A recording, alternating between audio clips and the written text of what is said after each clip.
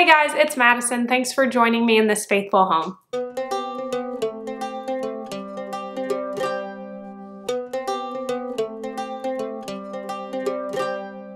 I'm so glad that you guys checked back for another Sewing Saturday video.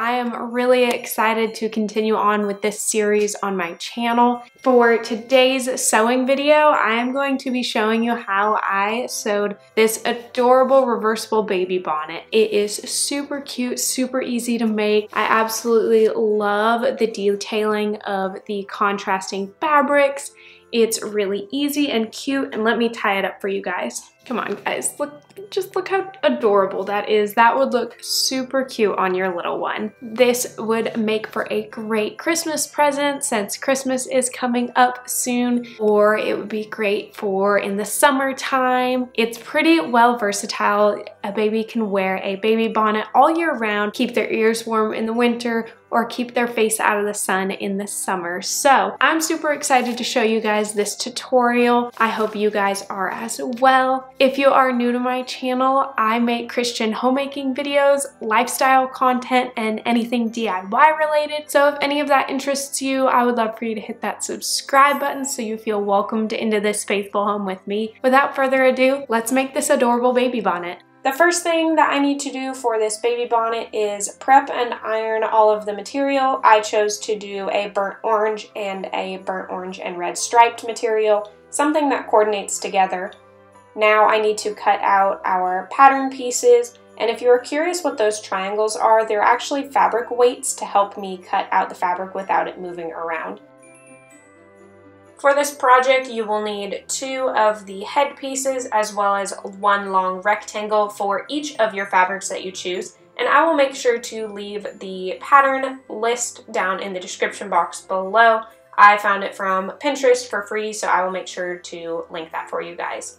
Here I am taking the long rectangle and I'm kind of laying it around the longer side of the headpiece and then you want to pin it. This will give the hat more of its dimension. It's a little bit tricky to do the pinning, so bear with yourself if you are new to this style. You want to keep the hat piece flat and then kind of curve that rectangle around it.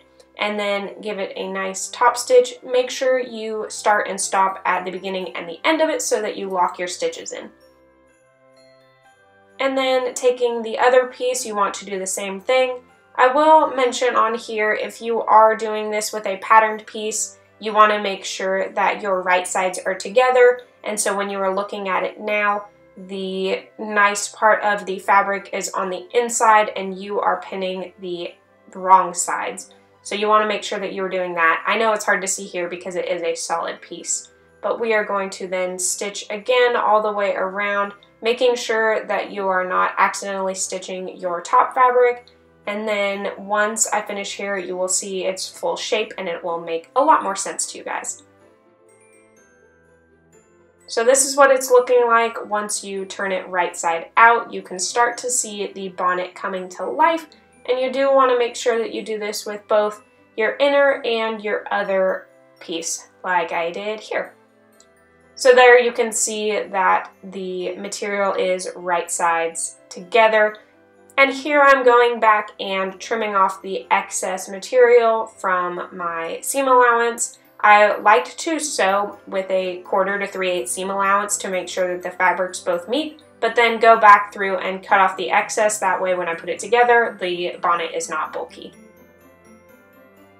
So this is what both of them look like. You want to have your solid piece turned right side out and then keep your other one right side in so that basically you are sandwiching together both wrong sides of the fabric and then we are going to pin across the entire thing to hold them together.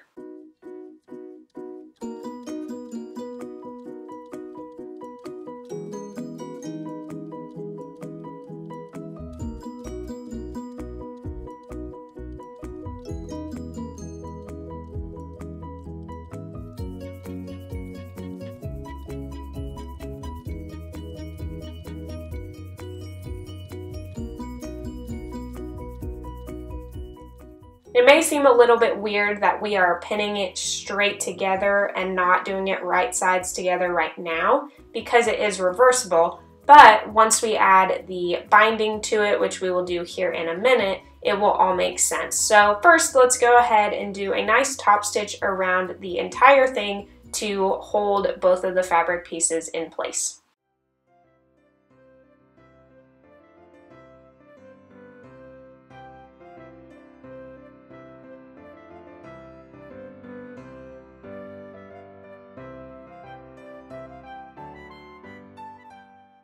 Again, here you can really see it starting to take shape, so you can go back and cut off your excess seam allowance if you want.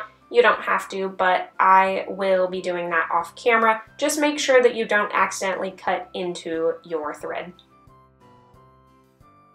I mentioned the binding earlier, so here we are going to make basically a bias tape, except we don't need to worry about it being actually on the legitimate bias fold. But basically you want to cut a piece of material that is two inches wide. And then for this one, the little piece is about nine inches long. It's the length of the bottom part of the bonnet. And then the longer piece is an inch and a half wide and then it's 42 inches long. This will be for the other part of the bonnet and then as well as the ties to go down. So you want to make sure that you fold it in half and then fold each of the two sides into that middle seam and then from there you will fold it in half again so it makes a perfectly finished edge that we are going to loop around our raw edge that we had earlier.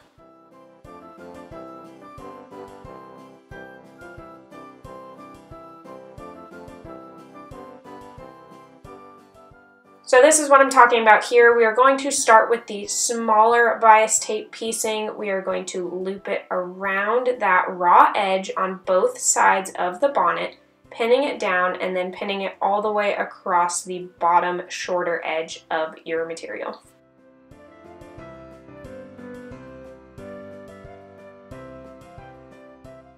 And I went ahead and made this piece a little bit longer than I needed to and then once I pinned it all down. I cut off the excess. You don't have to worry about it being a finished seam right now because the other piece that we put will finish all of it. So go ahead and do a top stitch along this line. And for some reason my camera decided not to record. I've been having problems today. So here is what it looks like once you do the final top stitch. And then we will go in with the larger piece. So what you want to do is fold your bias in half so that you find the middle and then take that middle and hook it to the middle of your bonnet and then pin it in place. Then I pulled the piece to one edge of it and pinned at the corner and then worked my way back up around the bonnet, pinning it every so often so it stays in place.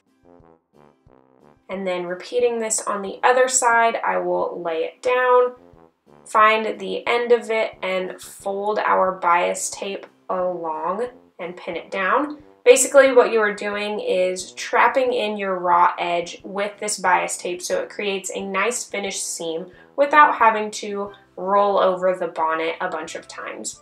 Plus, now you can continue on and see the long strings that we'll have to use as the ties. So now you will need to take a top stitch along the entire thing, and of course my camera decided not to record this earlier, so here I will pretend to do it for you guys, that way you see what I mean. We want to start with one edge of the string. Okay, I do need to stop for a second and show you guys something really important that did not get recorded when my camera messed up, and that is folding in the edge of your material on your strap. So make sure you open your bias looping back up, you fold over the material in about a half an inch and then refold it back together. Now you can see here that it has a finished edge when you are stitching the final step. So make sure you do that and again, sorry that my camera glitched and I did not get that original footage for you guys. Set it down and do a top stitch along the entire piece all the way around the bonnet and then back over to the other side of the string. And then make sure that you fold in the edge just like I showed in that clip earlier.